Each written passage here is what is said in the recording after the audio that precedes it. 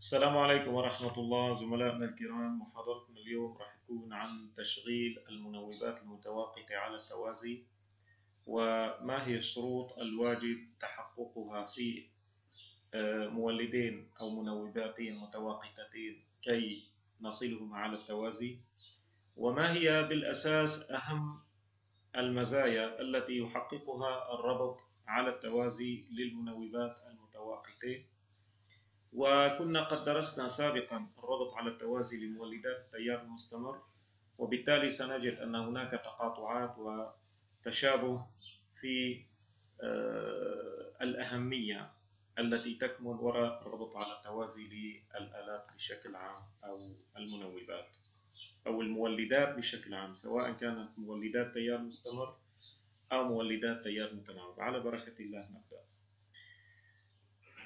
آه، في الحقيقة يا شباب بسبب الطلب المتزايد على استخدام الطاقة الكهربائية أصبح من الضروري إنشاء محطات توليد جديدة. إذا أصبح من الضروري إنشاء محطات توليد جديدة آه، بشكل مستمر يعني بشكل كامل فبهدف تحقيق تغذية دائمة لتلك الأحمال في المناطق الصناعية. إذا الهدف هو تحقيق تغذية كاملة في المناطق الصناعية.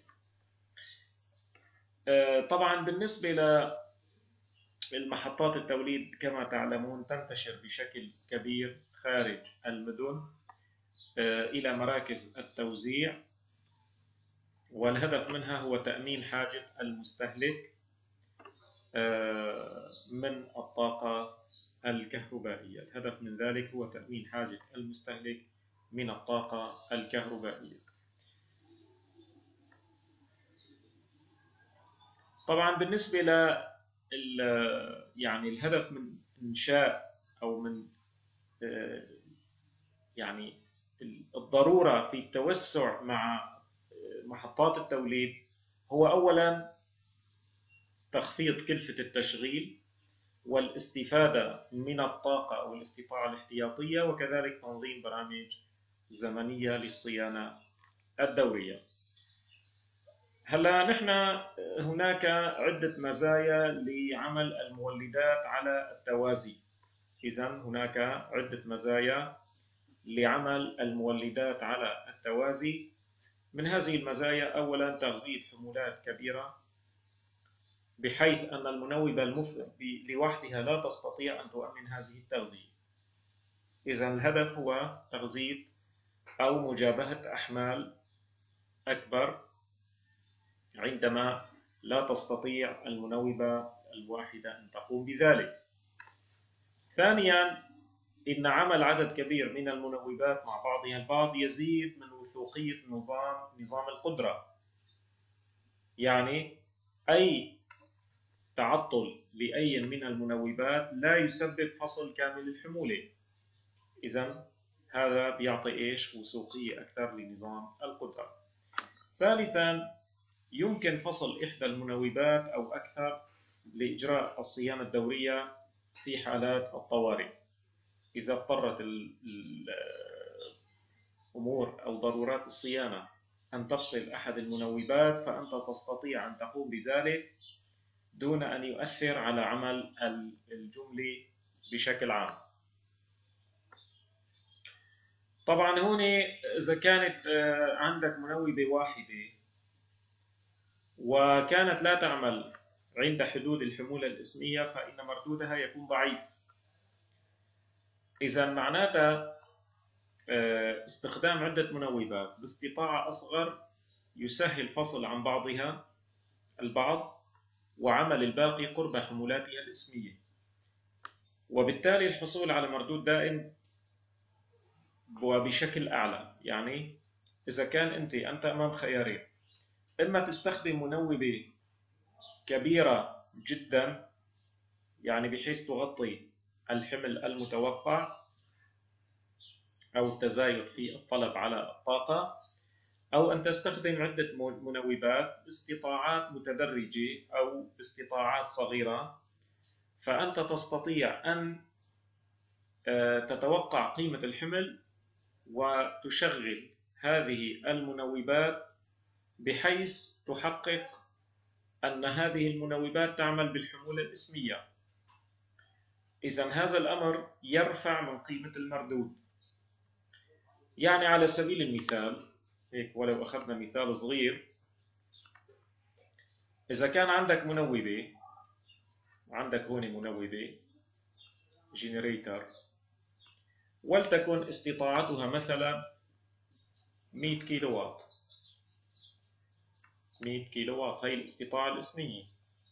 تمام؟ لنفرض أنه عندك الحمل الحمل لود استطاعته مثلا 50 كيلو واط تمام؟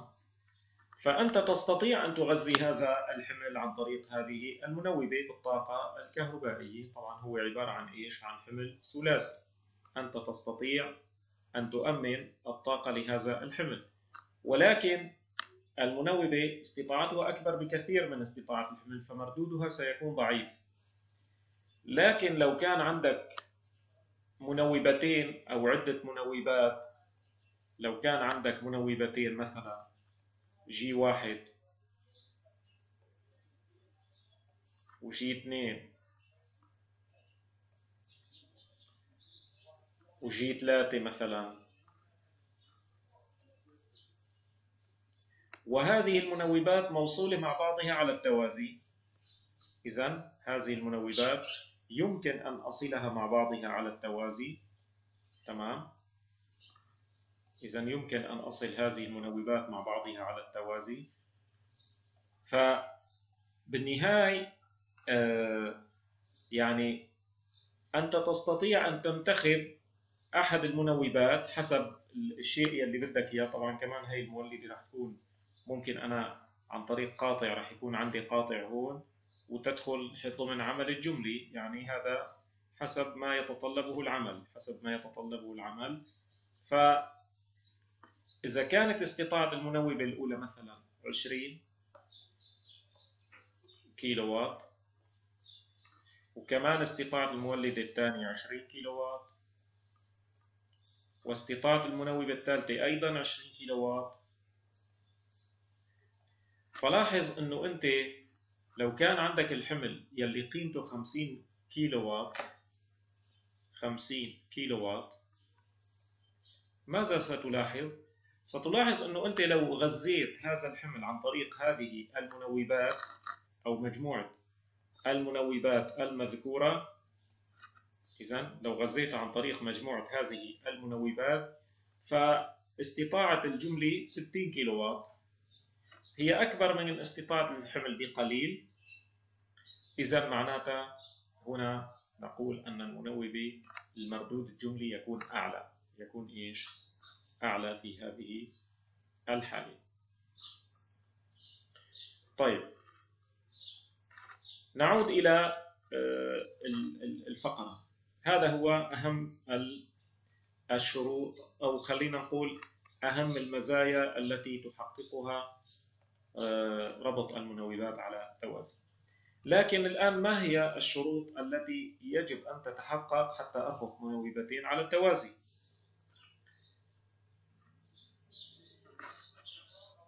أول شيء آه، يجب أن تتساوى القيم المنتجة لجهود الخط للمنوبتين يعني لازم الجهد المنتج للمنوبة الأولى يساوي الجهد المنتج للمنوبة الثانية. يجب أن يكون للمنوبتين توارد الأطوار نفسه. توارد الأطوار نفسه. هي رح نحكي فيها. آه، ثلاثة يجب أن تكون زاويتا الطور. للاي والاي فتحة يعني الطورين متقابلين يجب أن تكون زاوية الطور متساوية. يعني إذا كانت زاوية الطور A صفر لازم تكون زاوية الطور A فتحة صفر. رابعا يجب أن يكون تردد المنوبه أكبر بقليل من تردد نظام القدرة. طبعا كيف نحقق هذا الربط؟ لاحظوا معي يا شباب أنا في عندي generator واحد وفي عندي generator اثنين وفي عندي قاطع سكيني. إذا في عندي قاطع سكيني هو الذي سيحقق ربط المنوبة G أو المنوبة القادمة generator 2 مع المولدة الأولى القائدة G 1 كيف يتحقق ذلك؟ عم بيقول هناك شروط. لتحقيق هذا الربط يعني أنا كيف بدي أحققه؟ أولا نترك دائرة التهيج للمنوبة G 2 مفتوحة. يعني ما في قوة محركة كهربائية للمولد الثاني لأنه ما في توليد لأنه التهيج معدوم. بينما ترفع سرعة المنوبة G 2 حتى الوصول إلى السرعة الإسمية. يعني أنا برفع سرعة المنوبة اللي بدي أوصلها مع المنوبة الأولى إلى السرعة الإسمية ولكن بدون تهيج. اثنين نغذي تيار تهيج المنوبة G 2 إذا ال IF يلي هو عن طريق ملف معين شو راح يصير هون؟ راح يصير يمر.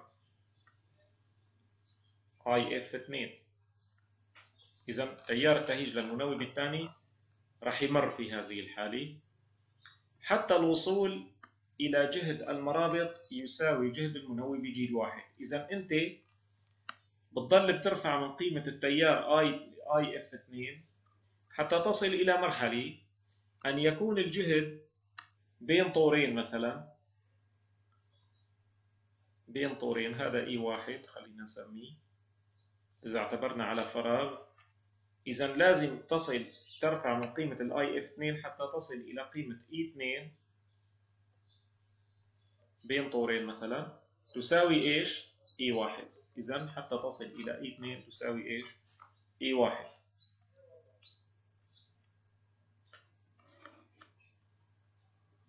طيب آه الآن عم يقول لك إذا وصلت المنوبة مع المنوبة المنوبة G 2 مع المنوبة G 1 هي هون G 1 راح سميها. فإن المنوبة القادمة لن تقدم مبدئيا أي تيار. يعني المنوبة G 2 لن تقدم أي تيار ولن تسحب أي تيار. ففي هذه الحالة تكون عائمة. تكون إيش؟ عائمة.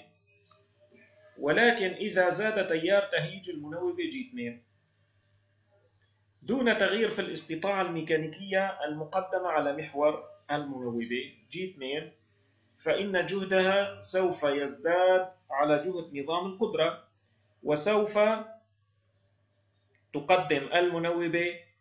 G 2 تيارا له فهمتوا شو معناتها ولا لا؟ ما فهمتوا. هلا أنت بعد ما وصلت المنوبة يا شباب. إيمت وصلت المنوبة؟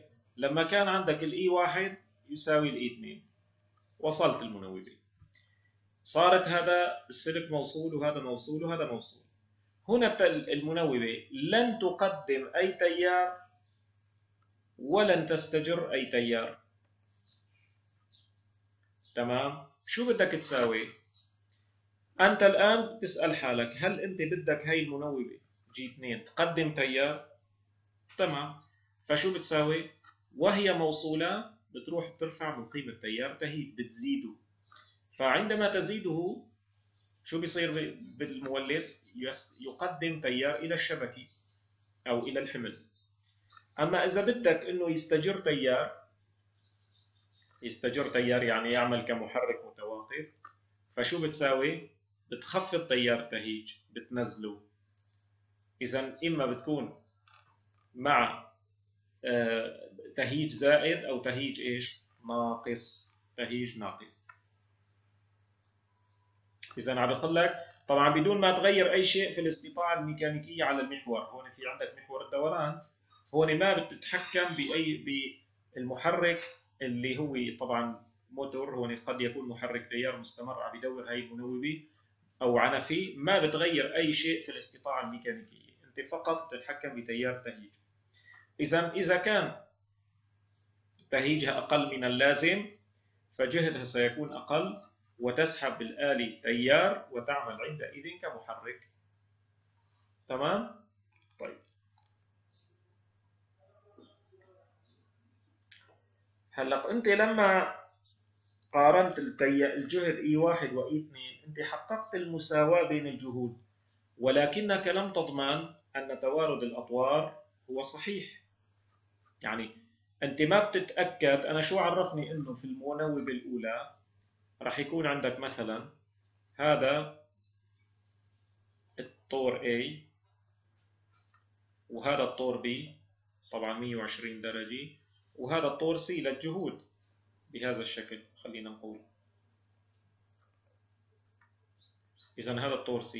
أنا شو أدراني؟ شو أدراني؟ إنه الطور الثاني أو عفوا المنوب الثاني. قد يكون هذا الطور B وهذا الطور A وهذا الطور إيش؟ C. إذا هون التوارد يختلف عن هذا التوارد. إذا معناتها أنا ما تأكدت ولو كانوا الجهدين E واحد و E اثنين متساويين ولكن لا أضمن أن يكون توارد الأطوار نفسه. فإذا كيف أحقق توارد الأطوار؟ قال باستخدام جهاز اسمه مؤشر لتوارد الأطوار أو بيسموه Phase Sequence Indicator. إذا Phase Sequence Indicator. لاحظوا يا شباب هي عدة أشكال لل Phase Sequence Indicator شايفينه؟ هذا هو أحد الأشكال الموجودة في آه يعني في الماركتينج لاحظ هي أحد الأشكال شوف هنا عندك هون L1 L2 L3 مع جهة الدوران الروتيشن إذا هون هذا مقياس توارد الأطوار لاحظ هي عندك ثلاث أقطاب يقص لك توارد الأطوار لاحظوا معي يا شباب और चेक कर लिए कि कनेक्टेड प्रॉपरली है कि नहीं है तो अभी हम चेक करेंगे फेस सीक्वेंस देखिए पावर अभी ऑन करेंगे जस्ट 15 टू 20 सेकंड्स के लिए لاحظ عملية الدوران إذا هذا هو التوارد طبعا هذا مقياس تشابهي لكن في عندك مقاييس رقمية بتدلك على انه آه، بيعطيك ال L1 L2 L3 طيب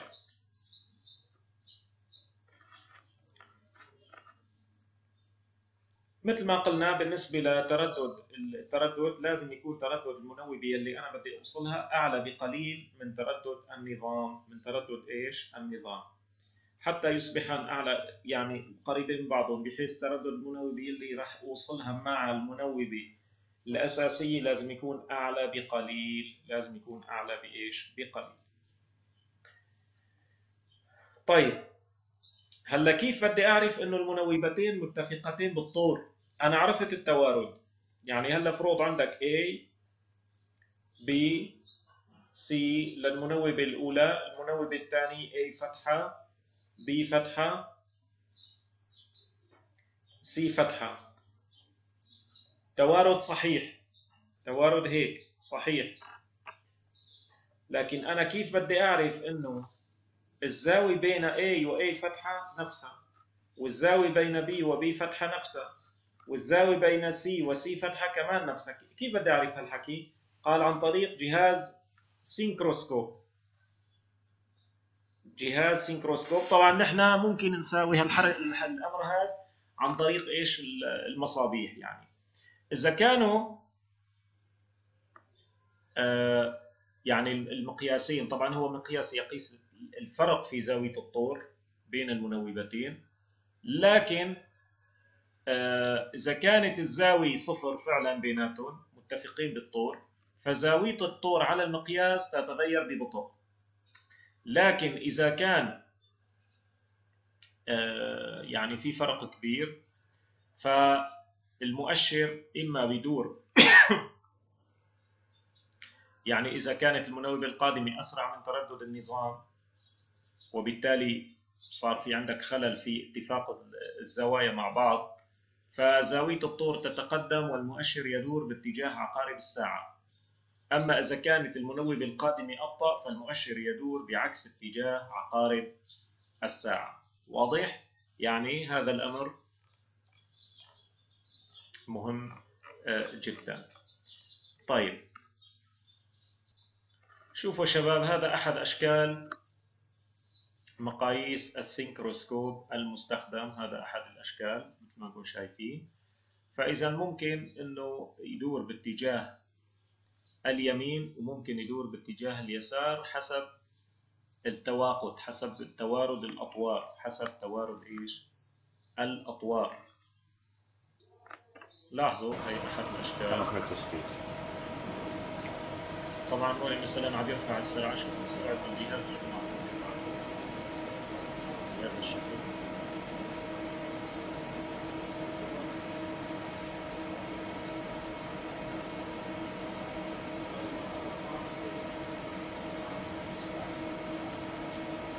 لاحظ طبعا هون في توافق توافق من أول لحظة بين معه في توافق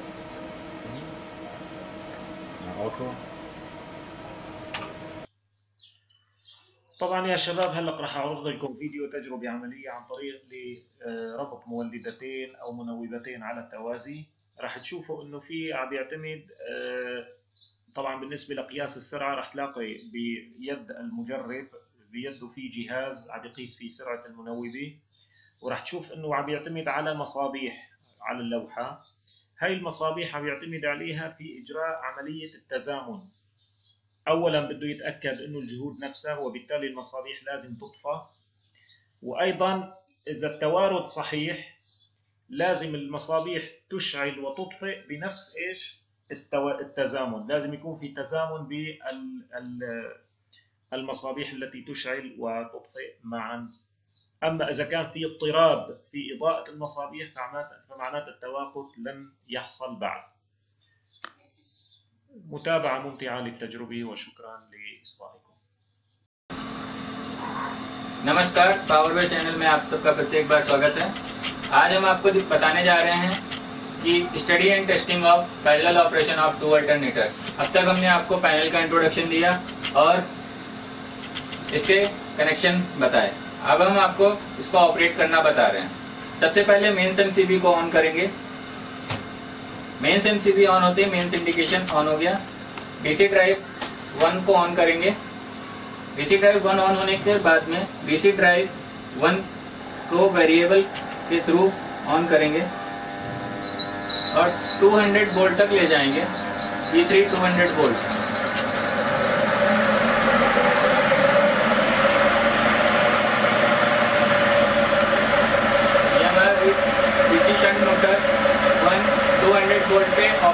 رہا ہے۔ اب ہم رائٹ ٹو کو آن کریں گے۔ اور ڈشنگ موٹر ٹو کو 200 وولٹ پہ آپریٹ کریں گے۔